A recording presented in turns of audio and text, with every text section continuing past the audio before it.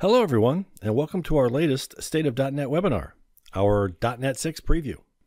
Today, Markus Egger will provide guidance on what to expect in .NET 6 and what we might see at .NET Conf November 9th through 11th.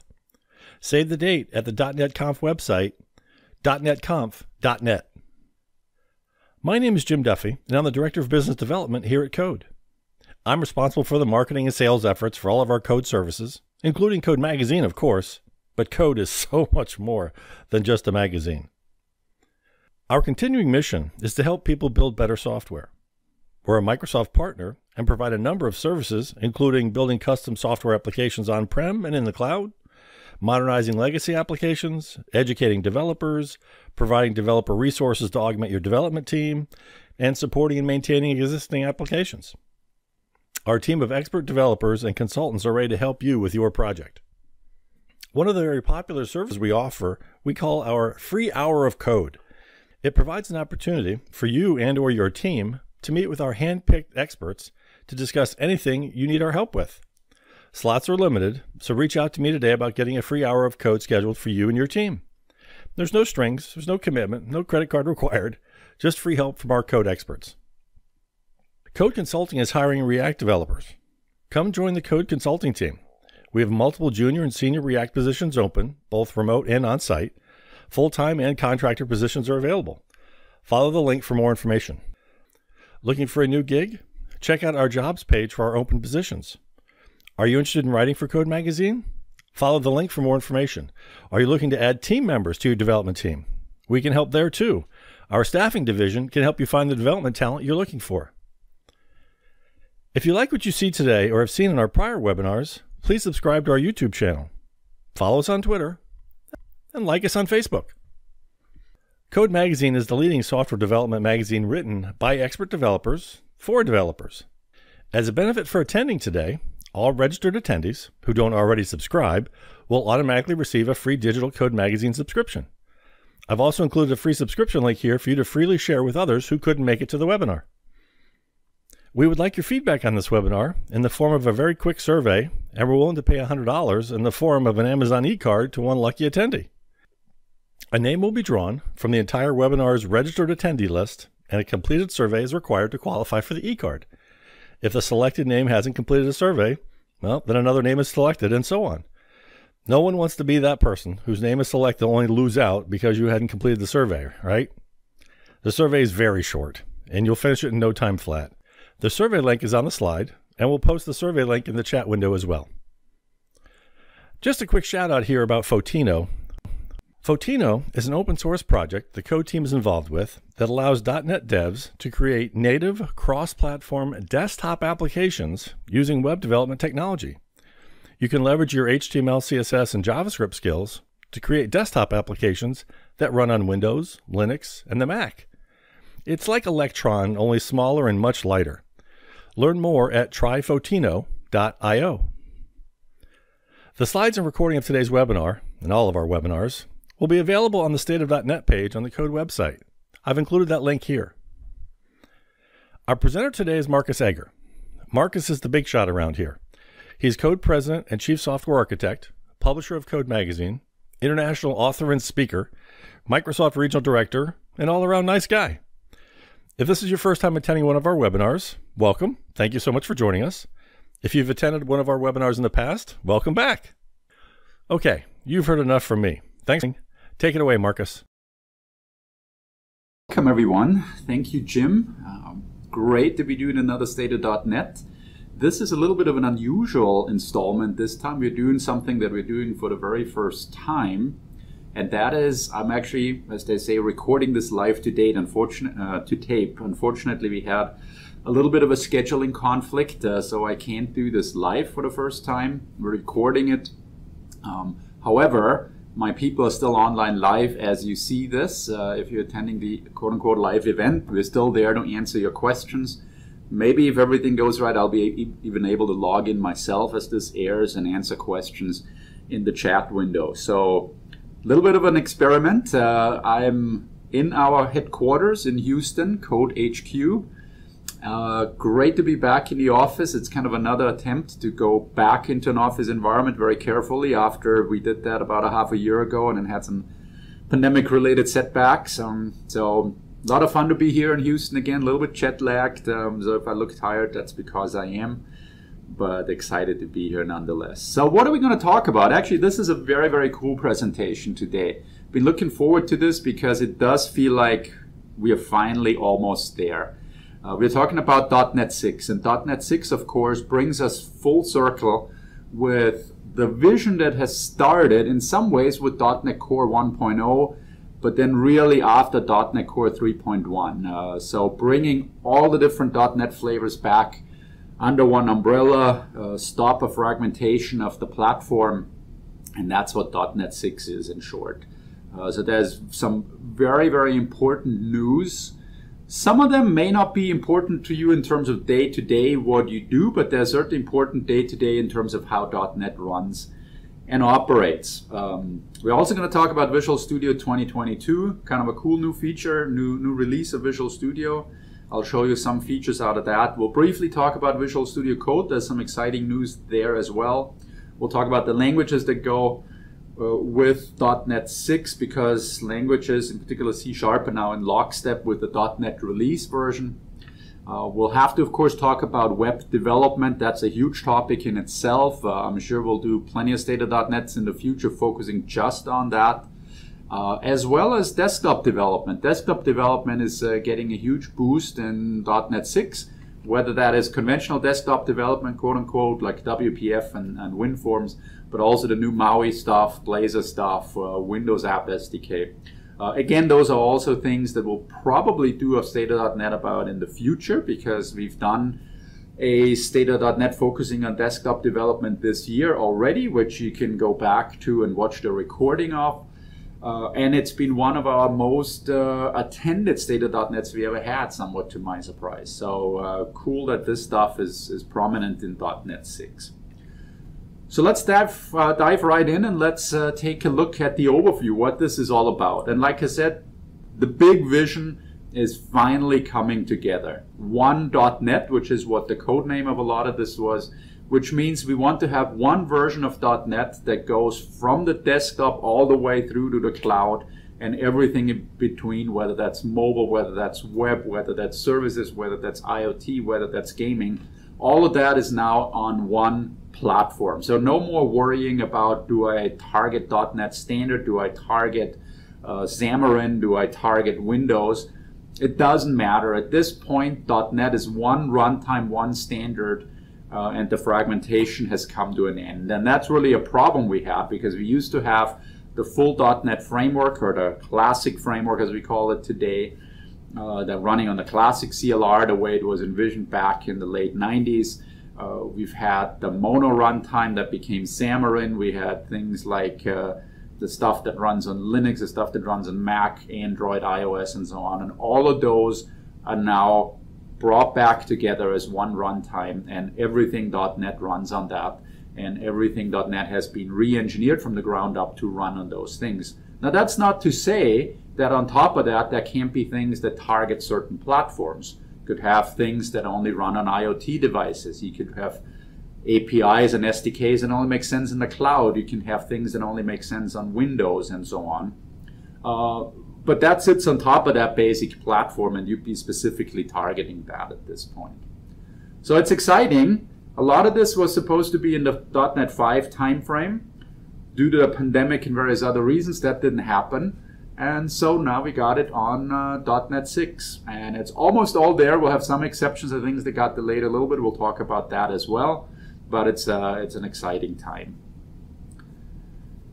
So when you look back at the history, uh, which now lasts well over two decades, you know .NET had many twists and turns. When you look at what we had historically, you know anything from the from the full framework to even things like UWP and Silverlight and Windows Phone structures quite changed uh, and targeting those things was quite different and, and so it's really exciting that we get away from that and, and are back in a, in a world that works better so here's the timeline that we currently have for .NET and, and one of the things you'll notice that as of November two years ago, November 2019, things have become very predictable, which is important, especially for enterprises, but it's important really for everyone.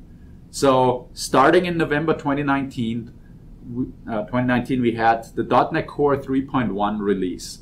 Uh, so that was a huge release that finally brought the .NET Core vision to fruition with everything that we really wanted to have in .NET Core, where it became more of a major platform. Originally, .NET Core was envisioned as this new way of running ASP.NET. It was just called ASP.NET Core. It had some ideas around re-engineering the platform for cloud. It had some uh, ideas around scalability, around side-by-side running, about containerization, around uh, running multiple things on the same server and a server farm in the cloud and making that more efficient. Basically, re envisioning .NET for the modern world and getting away from uh, what .NET was envisioned for maybe 20 plus years ago.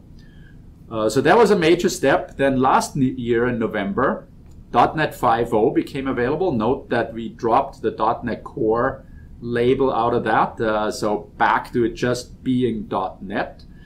Uh, and that was the first step towards this one.NET vision. And so that became available early November 2020 uh, with a general availability license. And now we're in November 2021, or almost.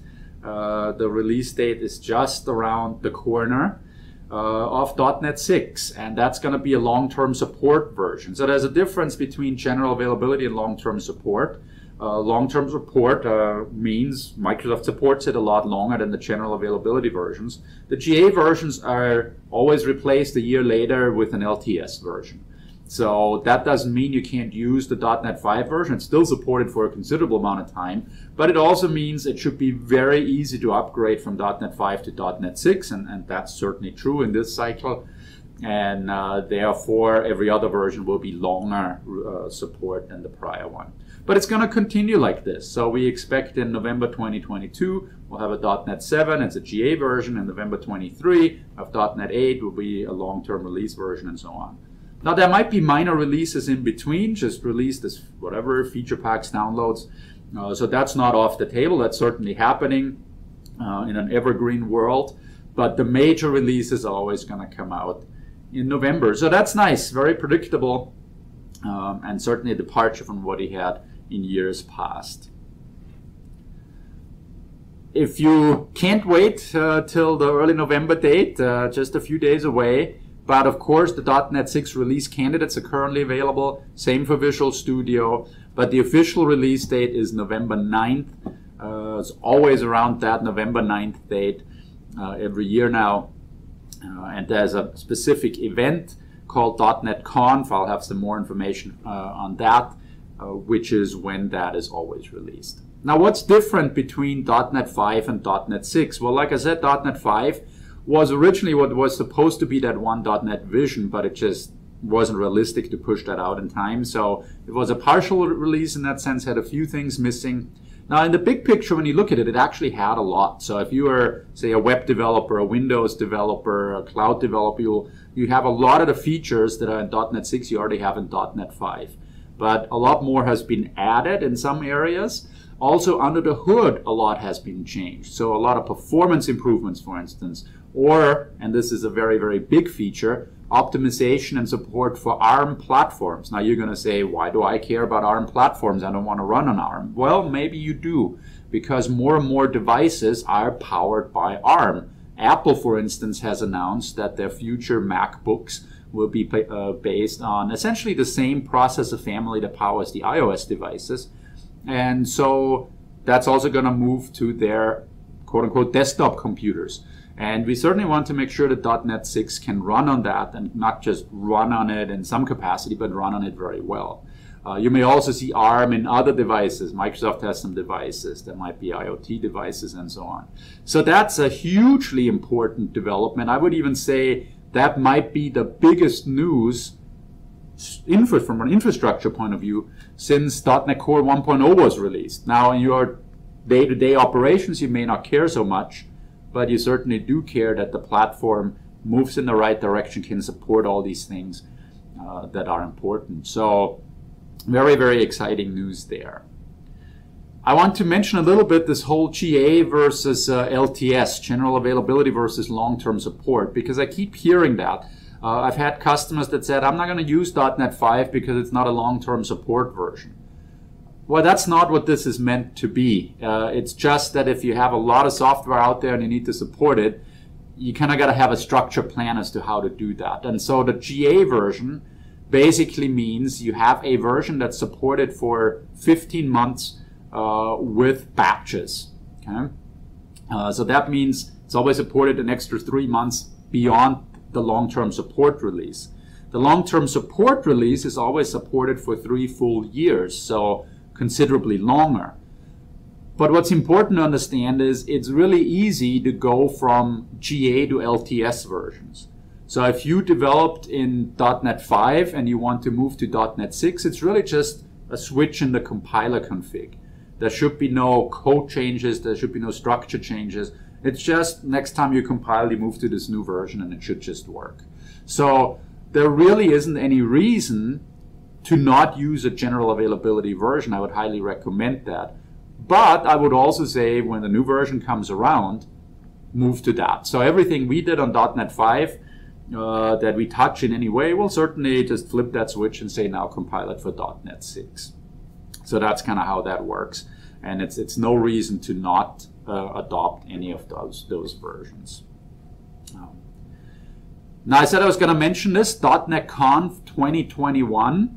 Uh, that's an online event, always has been online. Microsoft's done this for years now. It's always around that November 9th, uh, early November date. And it's been traditionally been the .NET launch event. So it'll be the .NET 6 launch event this year. You can sign up at .NETconf.net. Uh, you'll get a lot more detail about what's going on. Uh, with .NET 6 and also Visual Studio. So Visual Studio releases in lockstep with .NET. Uh, the language C Sharp and, and also VB releases in lockstep with uh, a certain .NET version. And all of that happens at .NET Conf. So I encourage you to check out that launch event. We will also do a post-conference recap State of .NET next month where we will dive a lot deeper into some of those areas that I can't talk about today because we're still pre-release and, and under NDA in some areas. Um, but uh, we will take a close look at that after the event as well. Uh, so that's going to be the Cliff Notes version. If you want to do the whole three days, then uh, that's the event you want to go to. We are also, and this is a new announcement that I can make today, uh, probably a lot of you saw this coming, we are also announcing that we're doing a Code Focus magazine on .NET 6. So this is a special issue of Code Magazine, and it's completely free. Uh, so it's free to current subscribers. If you're not a subscriber, here is a link that you can uh, get. It's while supplies last. So we are printing a certain uh, number of copies and everybody who signed up at that point will get that issue of the magazine free of charge. For those of you who come too late and have uh, no access to the print issue, this is of course also available on our website, all the content. This is available uh, as a PDF, it's available as HTML, it's available on Kindle, all that type of stuff. So even if you don't get the printed version, this is still free to you. And we are producing these issues together with Microsoft. So in a way, this becomes the definitive source about what's new in .NET 6 straight from the horse's mouth. The authors are generally people at Microsoft that actually worked on those features. So it's very, very cool. I'm not trying to sell you anything here because it's free, right? Uh, so tell your friends about this. Uh, this should be a, a, pretty cool guide to .NET 6 that you can read cover to cover. Okay, so make sure you get that. Also, we did the same thing for .NET 5 a year ago. Same idea, free to everyone, developed in conjunction with Microsoft by Microsoft authors. And because .NET 5 and .NET 6 are two phases of the same vision, a lot of the content that we have in the .NET 5 issue, or all the content really, is still very, very applicable today. So in a way, it's almost like if you want to read them cover to cover, read both of them and it gives you everything that's in .NET 6. So very, very cool content. Probably the most in-depth content uh, put out by anyone from Microsoft uh, that's concise and really meant to cover the whole area. So check that out. Cool stuff. Now, what does it mean to have a unified platform? A unified platform really means just that. We have a .NET foundation at the bottom, uh, foundation in terms of foundational technology, not, not the organization. Uh, and that runs everywhere. There's compilers, there's languages, there's the CLR components that go with that. All of that is now standardized across the board. And then on top of that, we run things like desktop apps in various ways. WPF WinForms fully supported and improved lately. UWP is still there, of course. Uh, we got the Xamarin stuff. We got Blazor. We got things like Maui coming. I'll talk about that a little bit. All of that's there. We got the web, ASP.NET, Blazor, client-side stuff uh, supported by backend. Uh, we got, of course, the cloud. That's a huge area. No need to talk about that. We've talked about the cloud a million times. I'm not going to spend a lot of time today talking about the cloud. But that doesn't mean it's not important. It's super important, and we have uh, State of .NETs recorded very recently that you can still get to. We got the mobile side of things. We got Xamarin. Uh, we got Xamarin that becomes more ubiquitous. Uh, that's we're probably not gonna name it Xamarin as much as before because now it's called Maui in terms of uh, what Xamarin Forms has become. Uh, it runs on Android, it runs on iOS, it runs on Mac, it runs on Windows, and those are the big news that we have a scenario where Microsoft's focusing on Mac and Windows as well as the true mobile platforms. And that's a big part of why Microsoft made sure all of this stuff runs on ARM very well. Uh, we got the gaming uh, based on things like Unity. Uh, that's a third party thing. Uh, if you're in this presentation today, you're probably not a game developer. If you are, welcome. But just so you know, that's there as well.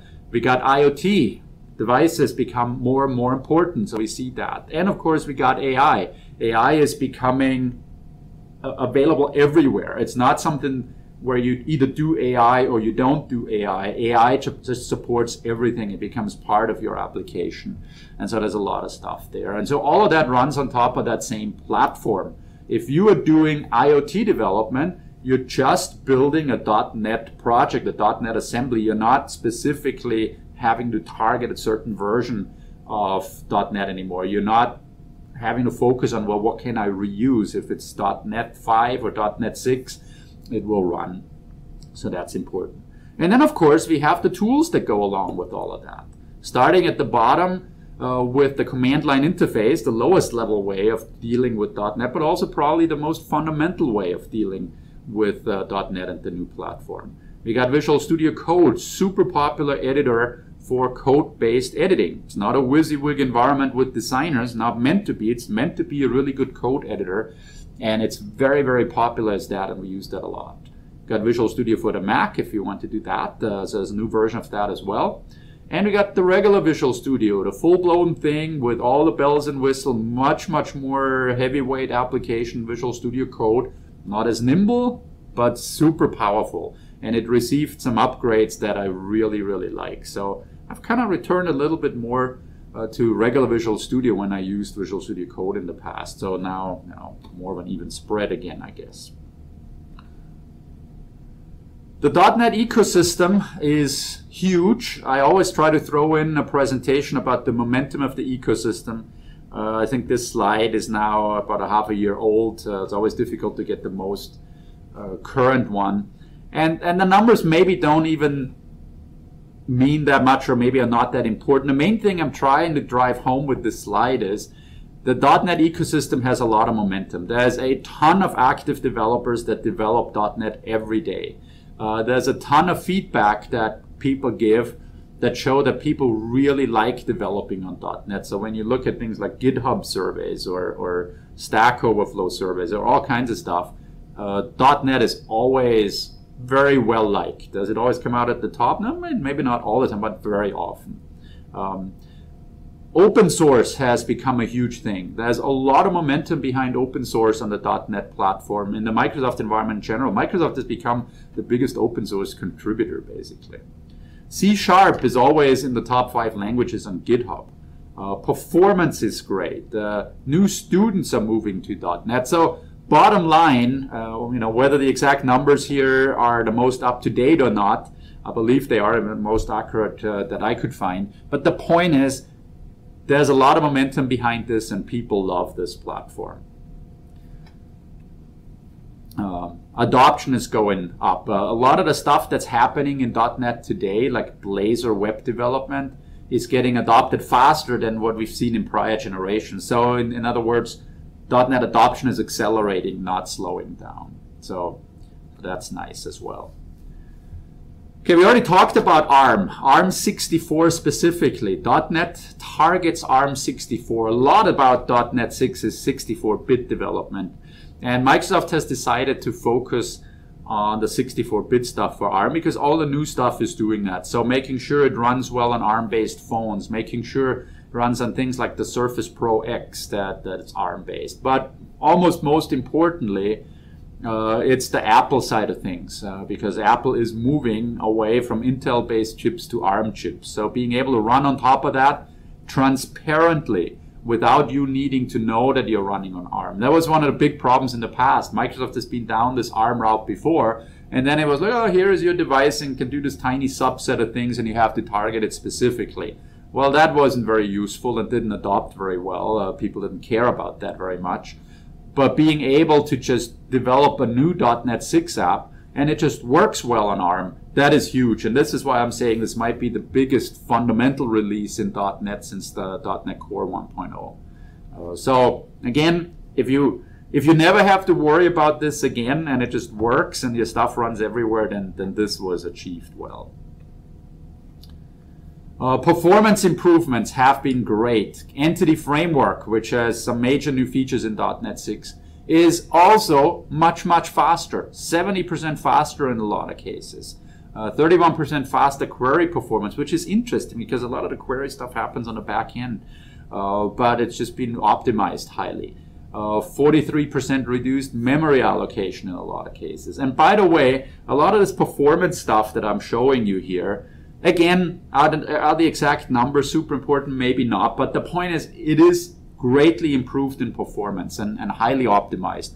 And read the Code Focus magazine. We have a great article in there about the, the platform overall. And a big part of that is looking at performance and the kinds of things that were improved and what Microsoft did to improve that. And it's, it's really quite amazing some of the things they did. So not going to go into a lot of detail here today. I mean, there's lots of stuff I could go in, like uh, JSON serialization, which has been greatly improved and stuff like that. But read that article; it's it's actually really cool and interesting.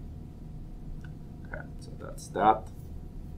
Now, diving into the features specifically, a lot of people say, well, okay, I don't have .NET 5, I don't even have .NET Core 3.1, I, I have an older code base, I have an older ASP.NET app based on .NET 4.x. I, I have a WinForms app based on .NET 3. I have a WPF app, uh, those types of things. The way to move that forward is by using the .NET Upgrade Assistant. The .NET Net Upgrade Assistant, which you have a link to here, uh, is a tool that currently is a command line tool. Probably in the future we'll get more of a UI for it that helps upgrade C Sharp and VB apps to this new world of .NET 5, I guess, but, but also .NET 6. Um, and what it does is it analyzes your code base and then guides you through a multi-step process of updating your code base. Uh, you can also use it to just analyze it to see what's the problems that are coming my way because not everything will just work. It'll take a little bit of time if you have a really old code base. Uh, but what I was surprised about with this particular tool is how sophisticated it is, and also that it's extensible. So providers of third-party frameworks, for instance, can tie into this tool, write extensions for it. There's an extension marketplace for this tool, which gives you an idea of how uh, serious Microsoft is about that. And so you can extend it, and it really guides you through your specific development uh, conversion efforts. Um, so it's a multi-step process, fairly involved. Shows you, hey, you have this. Uh, this application needs to be upgraded to the new project format. It needs to upgrade, upgrade NuGet packages. It needs to use different NuGet packages. It needs to change these code patterns and so on. So quite sophisticated. Can do all kinds of things at this point, from class library, console apps, uh, to ASP.NET MVC and Web API, even WinForms and WPF. And Microsoft is adding to that more and more, but it's already covering a huge range of things. And like I said, it's covering C Sharp and VB projects. So quite a bit of stuff going on there that's uh, used in the real world. So don't shrug this off as oh another stupid wizard type tool. No, this is a developer's command line tool that is really powerful and will really help you. All right, now let's talk a little bit about Visual Studio. The big news is Visual Studio 2022, which has been available in preview for quite a while. Um, and it recently, as the previews go along and as we've now reached release candidate status, uh, has received a bunch of new features that uh, maybe most people didn't even expect. So first of all, Visual Studio 2022 for the first time is a native 64-bit application. And what that means is it can take advantage of newer computers, it can take advantage of more memory in particular, uh, which means much more performance because it can keep more stuff in memory, uh, it can optimize things a lot better, especially on large projects. It's faster in loading the project, it's faster in the editor, it's faster in features such as search, uh, the ability to jump uh, to type definitions, you know, hitting Control T and finding things in your project uh, is much, much faster. So that is very cool because frankly, Visual Studio 2019 or, or other earlier versions got a little long in the tooth. It, it was often very slow with the code bases I had to work on, which are admittedly large. And so I switched to Visual Studio Code just because it was so nimble. But Visual Studio 2022 fixed a lot of that.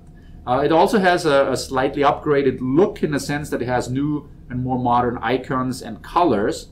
One of the things that I really didn't see coming until recently, and that I've never talked in this State of .NET before, is that now actually is improved support for theming and customization. So finally, we get a lot of the stuff that Visual Studio Code had for ages where you can truly customize the look and feel of Visual Studio. And again, there's a marketplace around that. So just popping into Visual Studio here real quick. Here is my Visual Studio. Now you may immediately notice that there's a few interesting things here. Uh, in my case here, I chose to arrange the tabs on the left side and uh, this this is improved. You can still make it look like the old way, right? So if you're like, oh, I don't want my tabs on the left, well, by default it isn't. By default, the tab is still across at the top. Uh, but I like it on the left, uh, and I like to group my tabs by project. And Visual Studio color codes the tabs by project if you want. So if you have a solution with multiple projects, uh, all the files that are open that belong to a certain project can be color coded and grouped together. It's a small thing, but I found it really, really useful. The more interesting thing is that as you now go into your options dialog, you will see that there is more choice in the different themes that Visual Studio offers. Now, out of the box, it'll have one or two extra themes compared to earlier versions, but you can go into the marketplace and look for themes and you'll find a lot of new themes in there. So, for instance, I downloaded this Monokai theme and I can switch to that. And now you see that Visual Studio changes to adopt to that. And it's not just the Chrome, it's not just the window background, but you can finally modify the syntax coloring theme, for instance, which I really like. Uh, so this is a little bit of a wild one, Monokai. I sometimes switch to that, uh, but I chose it for this presentation know, because it looks really different, right? The, the syntax coloring, as you can see, looks really different. So, so that's kind of cool. You can pick and choose what you want, and I find that very nice. And, and just Visual Studio before was kind of outdated because it didn't support all of that stuff, I feel. Okay, we have things like improved debugging and productivity. We'll look into some productivity features, but it's one of those things where you're like, oh yeah, it's more productive, and isn't every version of Visual Studio more productive than the, the prior? So it's it's it's a nice to have, you feel, but now that I've used Visual Studio 2022 for quite a while, I can't imagine going back to an earlier version. It is so darn smart with a lot of the stuff that it does. It is just unbelievable. And, and a lot of that has to do with AI. Visual Studio 2022 is AI driven, and therefore it just figures out what you specifically want to do. And sometimes you just look at it and you're like, wow, this is, this is just unbelievable. So there's this new thing called AI IntelliCode, and we'll take a look at that specifically. Um, there's some other new editor features that I really like. Uh, there's uh, what's called inheritance margins. What is that? That is this new little icon here in the margins that goes with the definition of a class. Like in this case, just happen to have a WinForms app up. Uh, and I can click this icon here And what this shows me is the inheritance that's going on. So I see uh, for this form one that inherits from a WinForm, what, what are all the other things that this inherits from? And so I can see that here. I can also see the implemented interfaces. So that's nice, right? That, that gives me some information that I didn't see before. Uh, that's quite nice. Another thing is these inline hints. Uh, so for instance, I already wired up a click event here, and this click event takes two parameters, right? If I do that again, if I just say click plus equals, um, and I could create either a handler for this that has an object and an event args parameter, or of course I could just say I'm doing uh, an O comma E lambda expression like this, right? But then what what is O and E? And you see that it popped in these hints here that tell me what these parameters, in this case, what type they are. Or, for instance, if I was to say var x equals uh, 1.5, right, it figures out what x needs to be. Uh, the var keyword does that. I don't have to specify it. But it gives me a hint here what I've created. I've really created a double. Now, it doesn't put that into source code. Right? If you watch my cursor move here, I'm going to the right one and it just jumps over this whole thing. This is not really in the code file. It's just the editor displays that hint for me. Now this is something that's off by default. Uh, to get that, you have to go into your editor setting, text editor, in my case C sharp, uh, and you go into advanced and you scroll down a little bit. And here are those inline hints and you can turn those on. Uh, I can also turn that back off. Uh, but what I like to do, because they can get a little distracting, I fine tune what I want to see it as. Or I turn them off entirely, but I keep this uh, display hints on Alt F1 on. So when I do that, the hints disappear again, but when I hit Alt F1, they show back up. Right? And then when I let go of Alt F1, they're gone. So that is the version that I really like, is where I can pop this in as needed, because sometimes you're like, well, what's going on here? What is this thing I'm dealing with? Uh, but Alt F1 brings it in. So, so you can totally fine tune that, but it's a really, really cool feature that helps you figure stuff out. Okay. Uh, we have things like improved refactoring, more refactorings that are available. So, you know, you kind of expect that from Visual Studio, that each version has new refactorings added. But what's also cool is you can refactor from the Solution Explorer. So you can just right click on a file and say, remove unused references. Okay. So that is kind of cool, or unused using statements, I should say. Uh, so that's kind of nice. There's also a new feature to remove unused references, which what that does is it removes things that are coming from a package manager. So if you have NuGet references that you're not actually using, the system can analyze your project and remove those. Okay? Um, we have improved editor config file support. That's one of those things that most code editors support this editor config configuration file. And so we now really have that integrated well. And uh, it allows things like applying code styles, applying code styles after the fact, right? So not just while you type. Um, IntelliSense completions have been improved. So if you're doing stuff like date-time formatting or regex, for instance, you'll find that this is very cool. And then, like I said, we have the IntelliCode suggestions based on um, AI. Debugger improvements, I'm not going to show you a sample of this, but just to mention this, uh, lots and lots of nice little things, like the way you manage breakpoints. And say you have a loop and, and this runs a million times and you have a breakpoint in there. How can you skip this breakpoint or use it when you really want it? So stuff like that has been improved. Uh, little things, but really improve productivity. Uh, you can now do remote testing better. So those are all nice things that have been added to debug scenarios. Uh, Microsoft's also implementing and integrating with GitHub and Azure DevOps better. Uh, no surprise, Microsoft owns GitHub, Hub, Microsoft owns Azure DevOps, so a, a, tighter integration is nice there, right? In the past, people were like, oh, yeah, Visual Studio's integration with all kinds of Git uh, servers is not that great. Well, now it's better, right? So now it's actually really cool. Uh, and that's both for the UI elements in Visual Studio as well as the experience directly inside the editor and uh, figuring out like history, for instance, stuff like that. And also management of repositories right out of Visual Studio has improved as well. Let's talk a little bit more about the AI in Visual Studio. there's two things that are just really, really cool. Uh, one is auto completions and one is auto refactorings.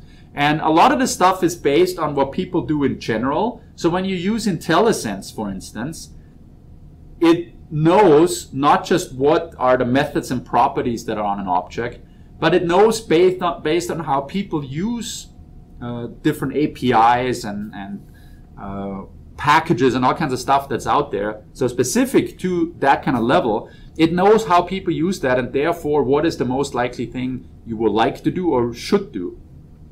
But it's also learning what you do specifically. Now let me show you this in action actually, so, so you get a better idea. So let's say here in this click event we want to uh, create some kind of string output and we do this using a string builder. So I'm going to say var sb now look at this. It immediately says, hey, I think you want to do a new string builder. Why? Because I guess a lot of people, when they create a string builder, call it SB. So the AI learned that when I say var SB, I'm likely to do a new string builder. Now, is that because people do it in general or because I do it?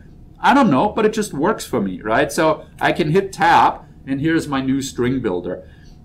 And this is a simple example, but as you use Visual Studio 2022, I guarantee you, you'll be blown away by how Visual Studio can know what you want to do. Because it's just sometimes you look at it and it's like, well, I haven't done this before. Why does it know? And and it just does. It's it's really amazing.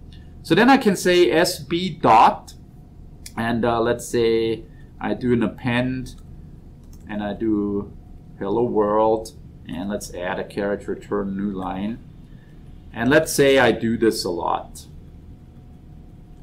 right? And then at the end of all this, you're going to do, let's say, a debug dot uh, write line. And note that it actually has in in the dropdown here, it has some things that have a star, right? So if I just say debug dot, uh, it shows three different things with a star that it thinks I'm most likely to use. Again, it learned that from other people, and it doesn't just say, oh, if there is an assert method, that's the one I'm going to highlight. It knows specifically for this debug object, that's what people use a lot. Uh, but I just want to do debug.write sb, and then it says, hey, most people use toString, and so that's fine. Um, so now we've created that, right? So, so that's one of the things you could do in here. Now you may say, hey Markus, why are you doing this? You're doing append and then you're doing a carriage return line feed. Uh, what you really should do is you should take this out and you should do an append line. And so now we can go through and do this here. And so I do it a few more times. And then eventually what's going to happen, and it's a little bit unpredictable on when this is going to happen exactly because it depends on when, uh, when the learning algorithm kicks in. But eventually as you do this and you click this icon out here, note that the bottom item in here is an IntelliCode suggestion. And it says, hey, you probably want to do this for the other seven instances of this as well. And so I can go ahead and I can do this and boom, here is all my uh, however many lines I created with that same pattern fixed up. And it's not because it was exactly identical, right? So I could have had different text in here. I could have had patterns and interpolated strings and no, you know, just anything that does appends with a line feed basically. But the point is the AI was smart enough to observe what I'm doing and create a new refactoring on the fly based on my interaction pattern with this environment. So there was no refactoring before that knew to remove the carriage return line feeds and, and turn an append into an append line. But because I've done it a number of times, it knows it, it learns it, and it then allows me to apply that across the board. And so it's features like the auto completion and features like uh, the intelligent refactoring that'll just blow you away. I guarantee you if you're using this for a while, you'll be scratching your head at some of the things that it understands and knows. And this just makes advanced refactoring, um, uh, cleaning up code bases and so on, or even creating new code bases drastically more productive. So I'm, I'm in love with this feature, if you can tell, and uh, I can't imagine not having this anymore. Another thing in Visual Studio 2022 that I just couldn't live without anymore is hot reload. This is basically edit and continue on steroids. So what this allows you to do is something like this. So I now wrote this and we can trigger this and this makes a WinForms app pretty simple. Just open the window here and I'm going to clear my, my output window. And if I click this form, note that I'm echoing to the output window here. That's the code that we just wrote here, right? So I can clear all and, and I can do that.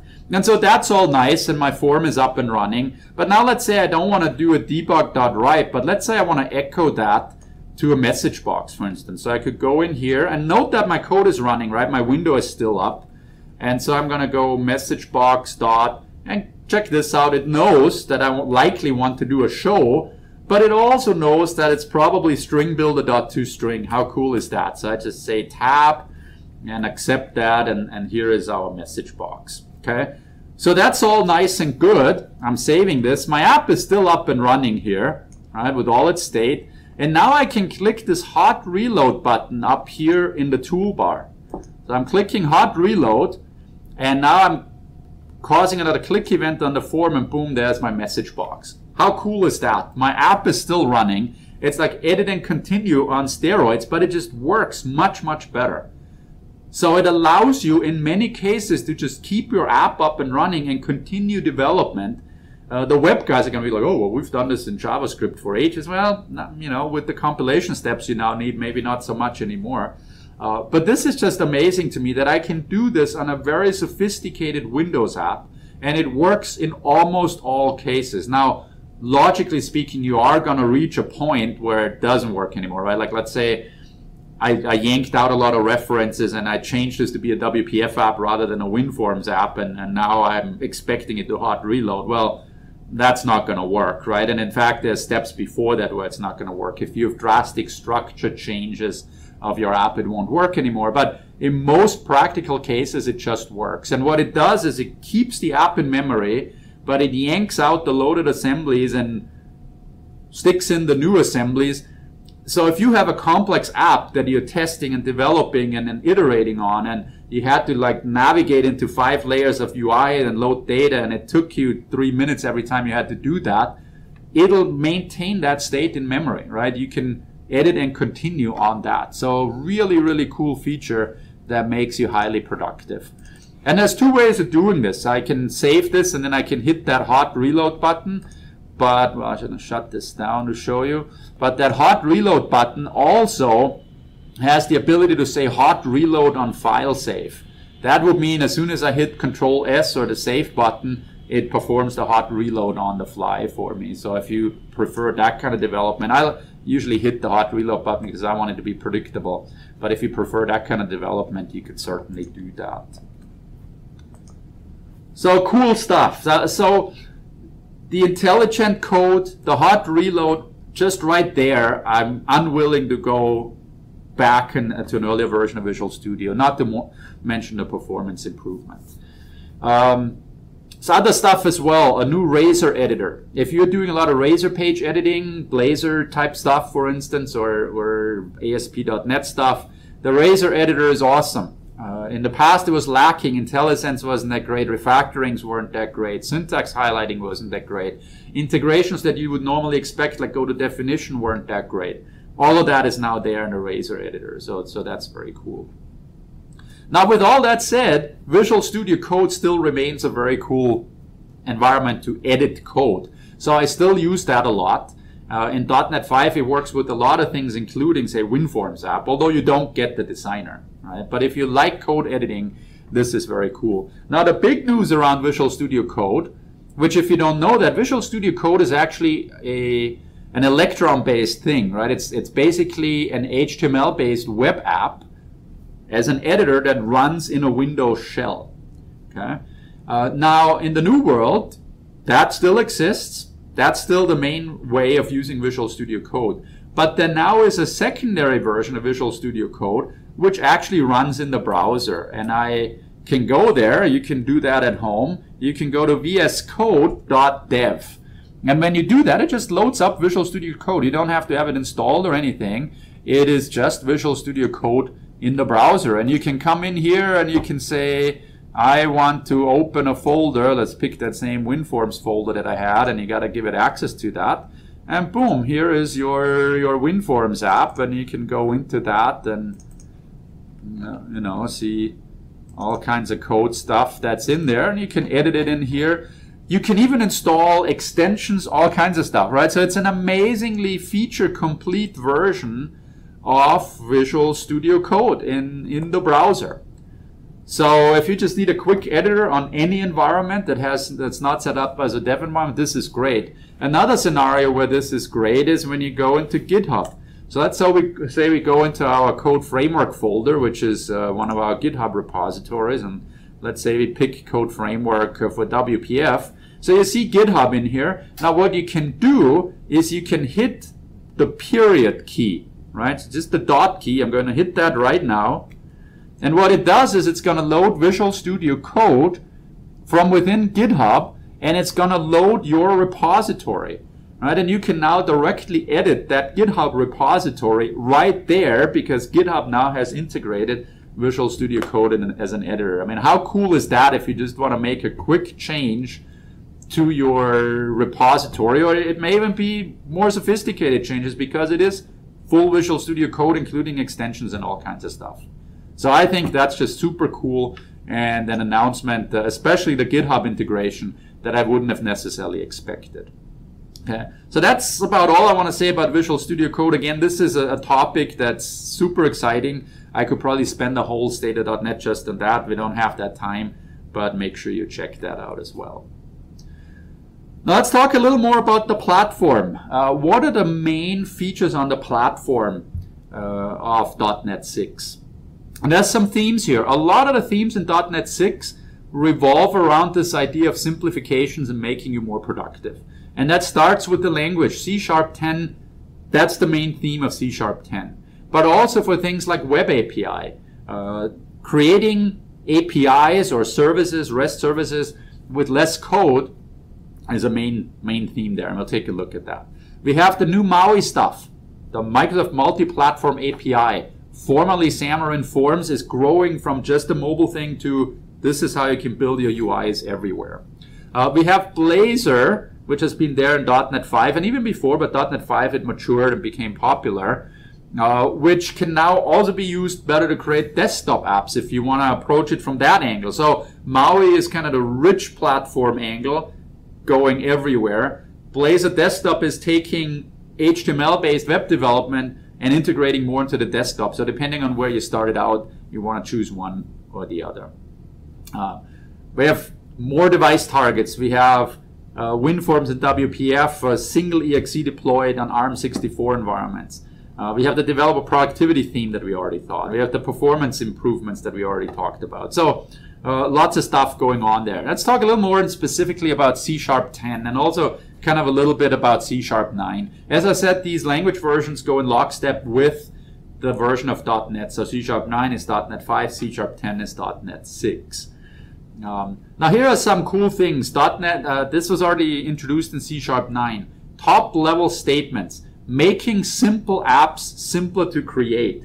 In a world where we create more and more stuff out of micro apps, microservices, and then compose our apps out of that, you want those apps to be as simple as possible. Okay, so what we have here is an older style console app in C Sharp that required all the stuff around here to do using system. He create a namespace, and he created a, a, class, and he created a main entry point. And the only line of code we were really interested in was console.writeLine. Okay, well that's a lot of code to write for that. In C Sharp 9, you could instead do this. You could do a using system and then it just did a console.writeLine. And this is almost identical to the example on the left. The only thing we're not doing in here is a namespace declaration. But the, in general, the code that will be output from this is going to be the same in both cases. It's just the namespace is going to be auto-generated. But if you looked at the IL, you'd essentially see the same code.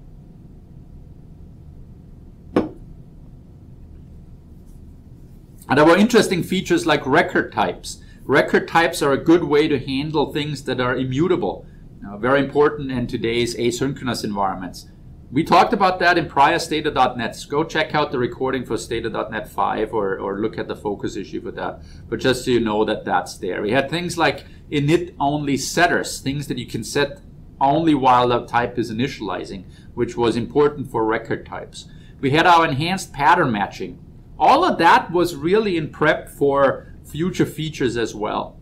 Uh, simplified object instantiation, um, lambda, and, and so on, right? So we've already talked about that before. Now, what's new in C Sharp 10? We have things like required initializers. So if you want to set up a field that you say this has to be initialized, um, being able to more directly control what the backing field of an automatic property is. Often, if you wanted to create a, a property but wanted to do some stuff with the backing field, you had to go and, and all of a sudden expand the auto property into a lot more uh, code just for making a simple change, right? Like accessing, say, say it an auto property, but you wanted to do a to upper on the getter uh, on a string property, for instance.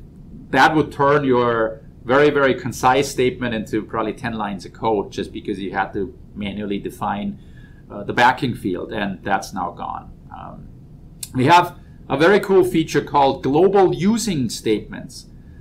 There are certain things in your setup, in your project, that you probably always want. Using system is almost always there. If you're building a WinForms app, using system.windows.forms is almost always there. Uh, so why can't you set that up for the project on a global basis? Well, you now can using global using directives, and then each line, each uh, code file is much shorter. Uh, namespace declarations in C Sharp have traditionally been done with an open-close curly bracket, which then indented everything and has made the code more complex in that sense. Uh, and most of the time, you would only really need that if you have two namespaces in a single code file, which is, you know, probably not the best thing style-wise anyway. And I've never in the wild seen a C-sharp code file that declared more than one namespace, or almost never, I should say. Uh, so now what you can do is you can just declare the namespace in a single line at the top, semicolon at the end, and then the rest of the file goes into that namespace without needing open close curly brackets. Small features, but but kind of really nice to have. So if you look at that example that I had before with our C Sharp 9 version, what it can do in C Sharp 10 is you can use that using system line and stick it into some global place in the app. Most of my uh, C Sharp 10 projects now have a, a global usings.cs file where I put all that stuff. So then I never have to worry about using system anymore. Um, and then the file actually only has two lines of code. It has the console.write line, but I can also do the namespace now in a single line, just namespace hello world semicolon.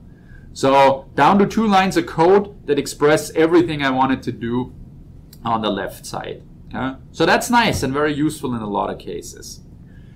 Now what this leads us to is this feature that I find incredibly useful, which is minimal APIs. If you're doing API development on the web, you often have the scenario where you have to stand up a whole ASP.NET Core app with all kinds of infrastructure and uh, just to do relatively simple APIs, right? You just want to re respond to a few requests. So here we have an example. That's a four-liner. That's a full ASP.NET API. It basically uses the API builder. You could put that in a global using statement, I suppose.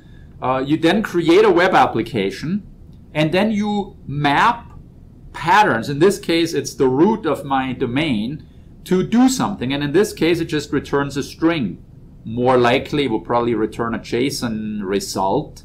But in this case, it just returns a string. And then I run it. And so if I run this and somebody just goes to my the root of my web app, they'll get back this hello world string. It becomes a four liner or a three liner if you have a global using statement somewhere. Okay?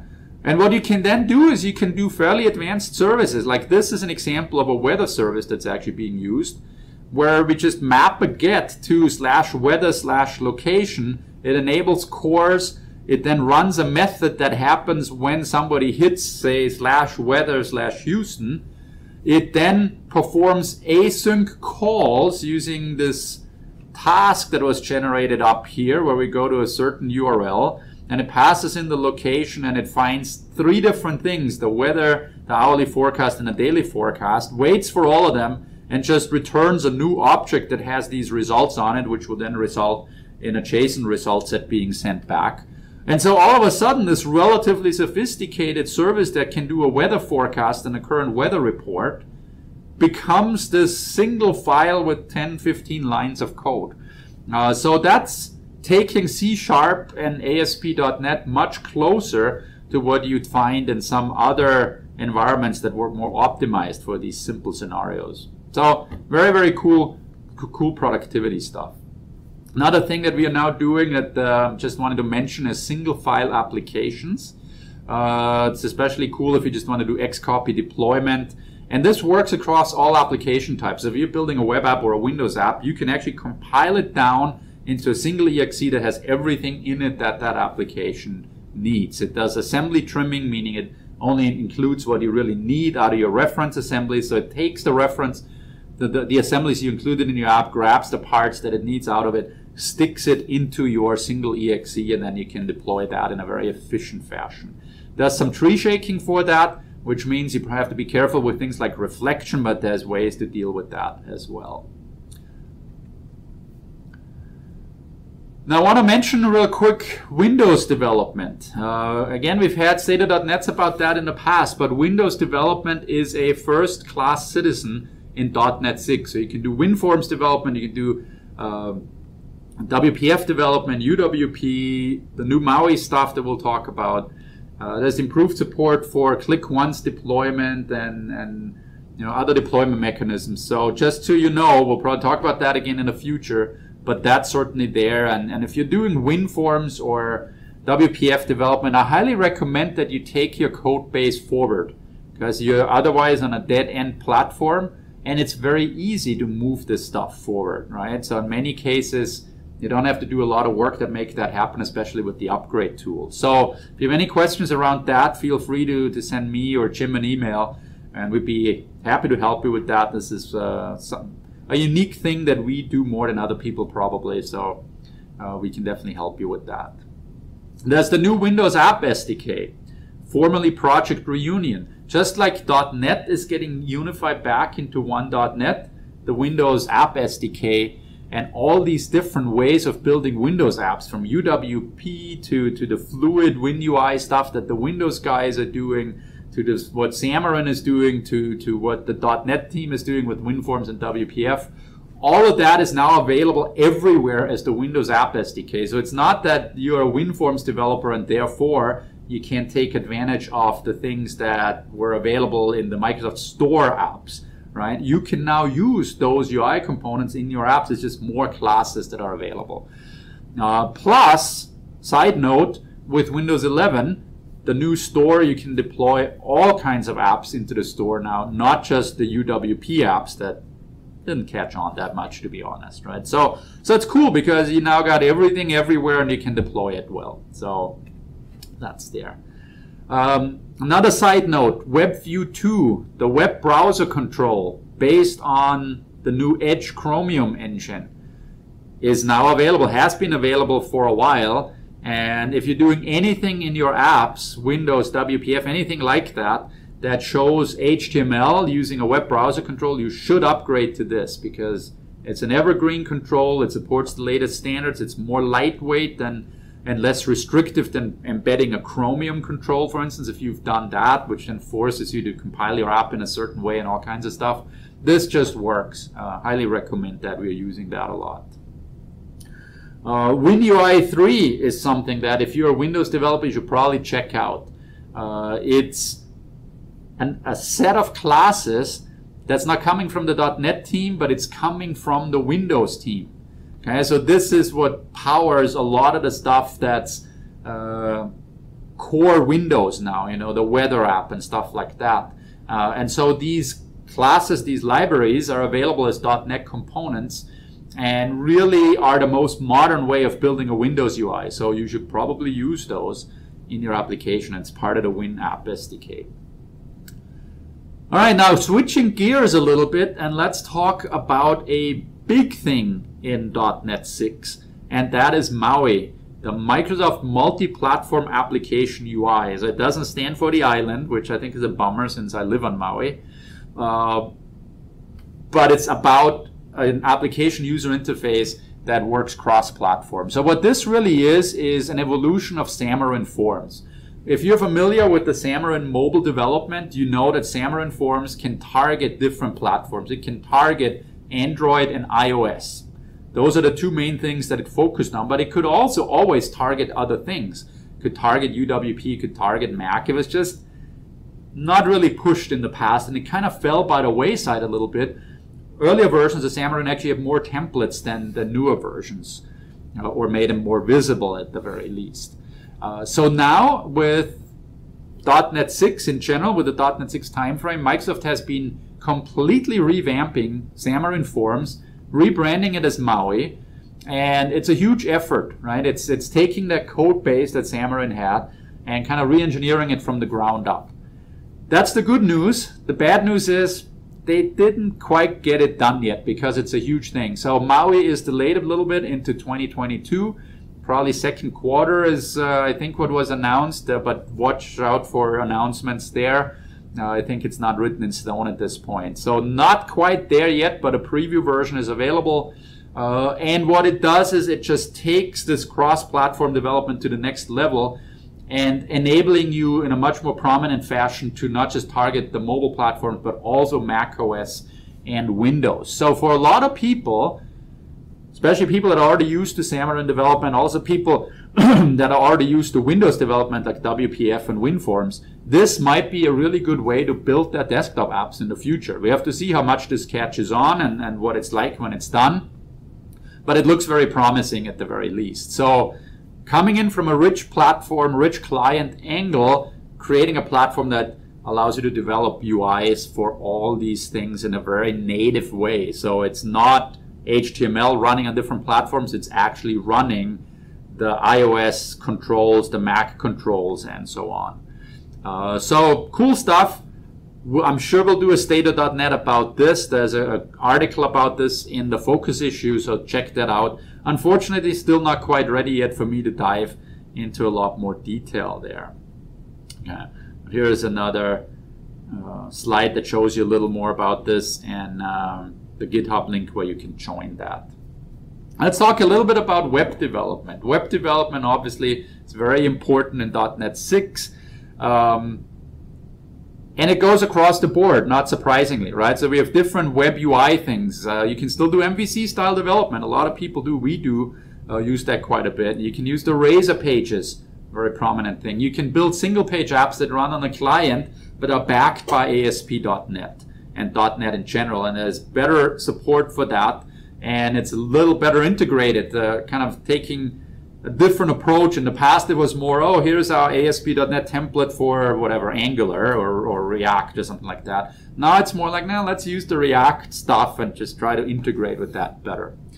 And then, of course, we have Blazor. Uh, Blazor is a very, very popular technology. Again, the Blazor State.NETs we've done in the past, past, you can go back and look at that uh, the the most attended State of .NETs we ever had around uh, are around Blazor. So this gives you an idea of how popular this is. Uh, fastest adopted Microsoft technology of all times. And what is Blazor? Blazor allows you to write .NET code and deploy it into the browser using browser standards, right? There's this uh, um, WebAssembly standard that's used for that. Uh, so it's a, it's a total standard thing. It's not a Microsoft specific thing, but it allows you to run C sharp code in the browser. Um, there's also a server-side component to this where you could do the same thing on the server. And it's a really cool framework around application development. So the way you create the UIs, the way you put components together, the way they're isolated from each other. Um, I don't have a lot of time today to go into that in detail, but check out some of the State of .NETs we did on that. That's pretty cool.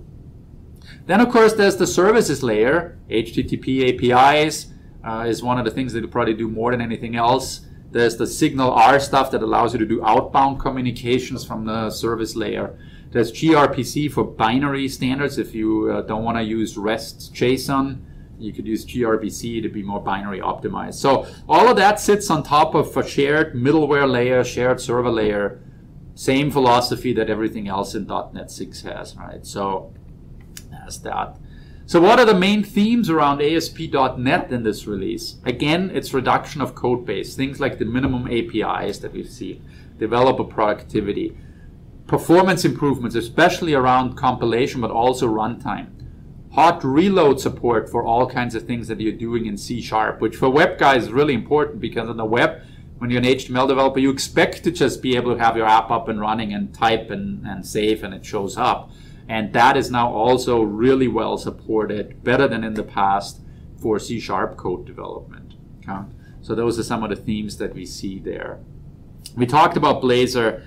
Uh, again, check out the older recordings. The main thing I want to say here, the new development around Blazor, which Blazor was released a while ago and then really became mature with .NET 5. The major news around Blazor and .NET uh, 6 is Blazor Desktop. If you in the past built the Blazor app, it would run in the browser.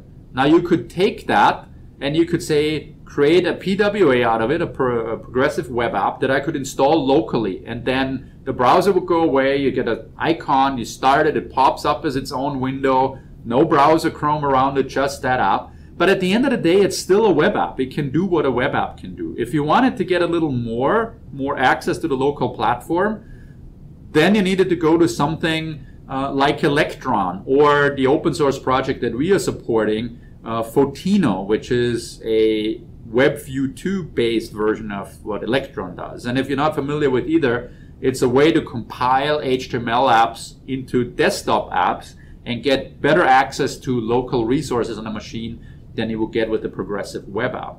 But the downside of that is it only runs on desktop environments. You can run it on the Mac, on Linux, and Windows, but you can't run it on iOS and you can't run it on Android. Desktop Blazor takes that yet another step further and uses the MAUI infrastructure that can li- literally run everywhere and sticks the Blazor programming model into that. Now, why would you use that over just doing a MAUI app?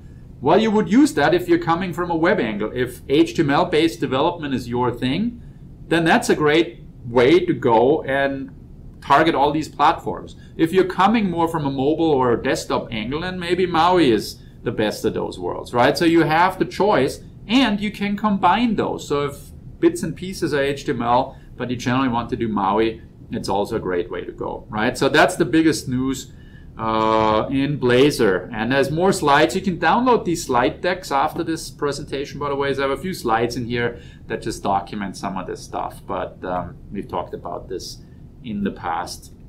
So I'm going to skip over this. Okay, we talked about that. And that pretty much brings me to the end of this presentation. There is a lot more to .NET 6, but I have a limited amount of time, but hopefully this gave you a good overview of the things that are available in .NET 6.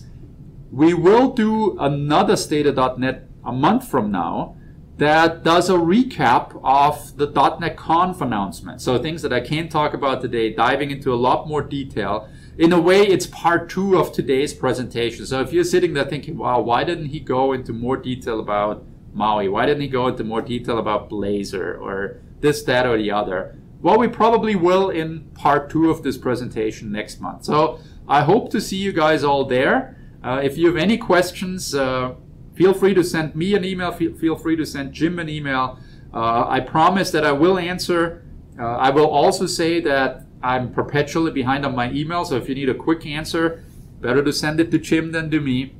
Um, and again, apologies for recording this today. Unfortunately, I had a scheduling conflict where I couldn't do it live. Hopefully, I'll be able to log on and at least answer your questions in chat. But I have my guys uh, hang out in the chat while this airs live, so they'll be able to answer your questions in the chat. Uh, but as always, consider us a resource. Feel free to send us an email. We're not going to send you a bill for a 10 minute email answer. Uh, so just feel free to fire your questions our way and take advantage of our one hour of consulting offer uh, that takes this further, right? If you wonder, how does this apply to my specific problem? Be happy to sit down with you for an hour and give you those answers. And other than that, thank you very much. I'm going to hand it back to Jim and see you next month. Thanks, Markus. I'll remind you that we're very interested in your feedback about this webinar and would appreciate you taking a moment or two to complete our survey. It's all of 12 questions, so you'll fly right through it, and one lucky attendee will receive a $100 Amazon e-card.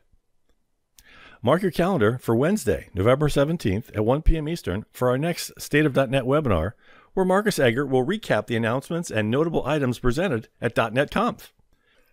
Just a reminder that as a benefit for registering for this webinar, all registered attendees who don't already subscribe will automatically receive a free digital code magazine subscription. Please share the subscription link with others who couldn't make it to the webinar. Code Consulting is hiring React developers. Come join the Code Consulting team. We have multiple junior and senior level React positions open, remote and on site. Full time and contractor positions are available. Follow the link for more information. Through our free hour of code offer, you can ask for our help on whatever you or your team needs. No strings, no commitment, no credit card required, just help from our code experts. Reach out to me about scheduling your free hour of code. The Code mobile app is available for both iOS and Android. It's the ideal way to read Code Magazine on the go. A free Code Magazine subscription is also available as a Microsoft benefit. Visual Studio subscription customers and Dev Essentials members qualify for a free Code Magazine subscription. That's it for today's presentation. Don't forget to like us on Facebook and follow us on Twitter. If you're attending live, we will be in the chat window for a while answering as many questions as possible. If you're watching the post event recording, please don't hesitate to reach out to me or through any of our communication channels. Thanks for attending, everyone. Have a great rest of the day or night, wherever you are.